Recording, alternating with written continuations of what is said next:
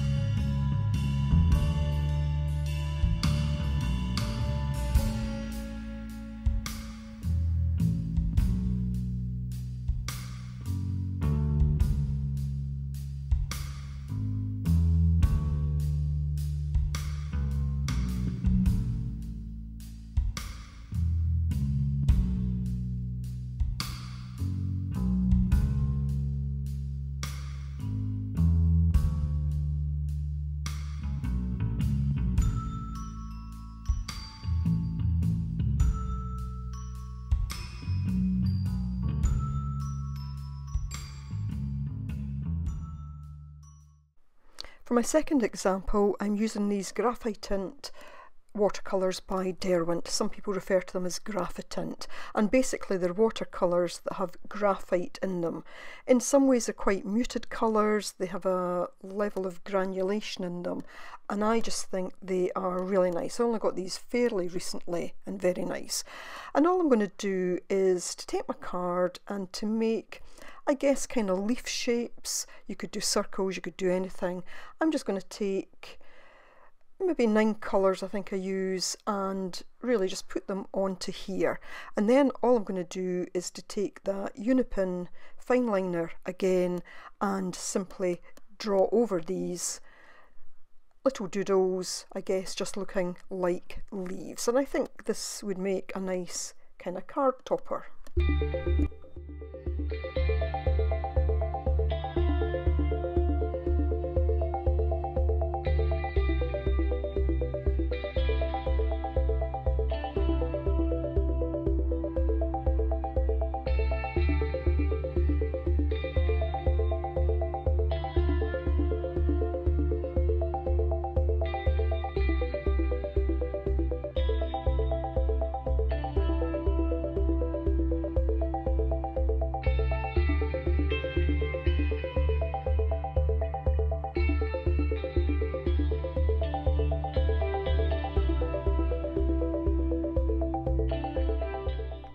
And you'll see that I deliberately don't follow the outline of the paint. I want it to hang over in places.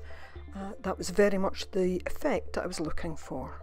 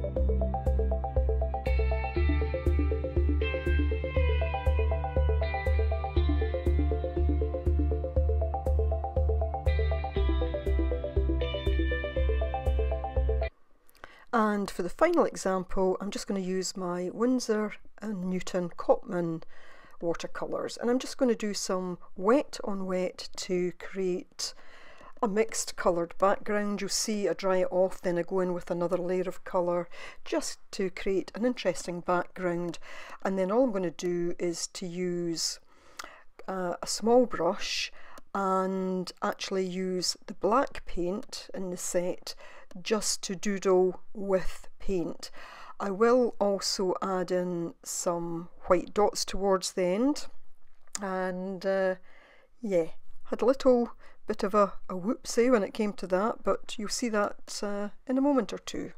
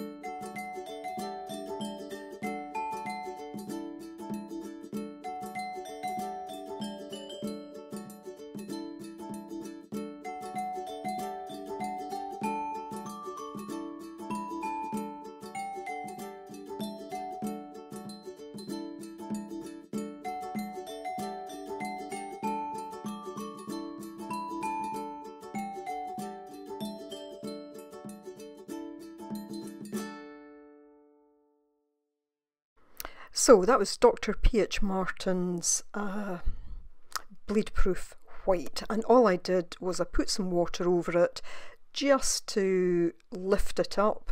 You know, it dissolved it a bit. I picked it up with a piece of tissue, and all I'm doing now is going back and just adding some of the colour back in because, of course, that, that lifted because it's watercolour. And I'm just going to take the black paint again and put those lines in. I had started by just taking the Montana pen, flooding it onto my page a bit and trying to use that as sprinkles. But here we are, my three pieces at the end of the day, three quite different. So that first one, very much just an abstract, the sort of doodle I, I sit and do mm, quite often I guess if I'm just sitting not thinking about doing anything that tends to be what comes out. My leaf shapes, leaf patterns and then this one done almost entirely with the watercolour. So of course Nina will have a video this week, do check that out and I look forward to seeing what you create in the Mixed Media Emporium Facebook group. And uh, of course, be back next week with a new prompt. So take care, everybody. Thanks for watching. Bye for now.